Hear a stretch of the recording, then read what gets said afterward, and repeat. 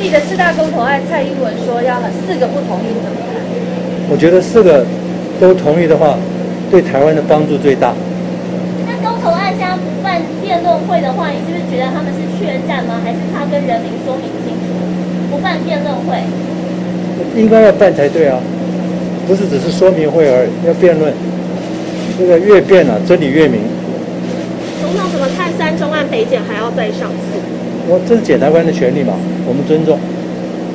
好，谢谢大家。书上讲说，如果台湾那个反来通过的话，就是等于台湾就不用加入 CPTPP，也是害死台湾。没有这回事。好，谢谢哈，谢谢，谢谢。